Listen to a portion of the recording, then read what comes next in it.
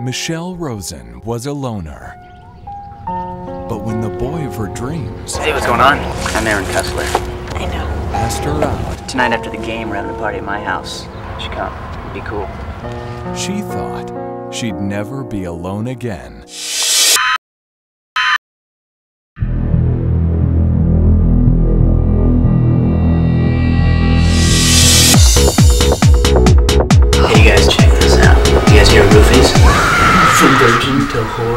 Whore 10 minutes.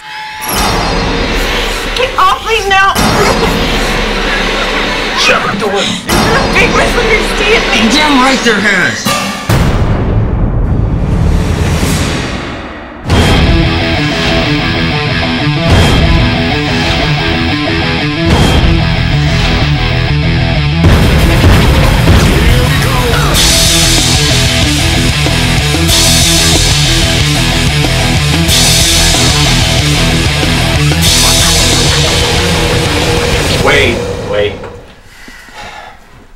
I know you're having a hard time, so uh, I'm gonna let the back talk slide.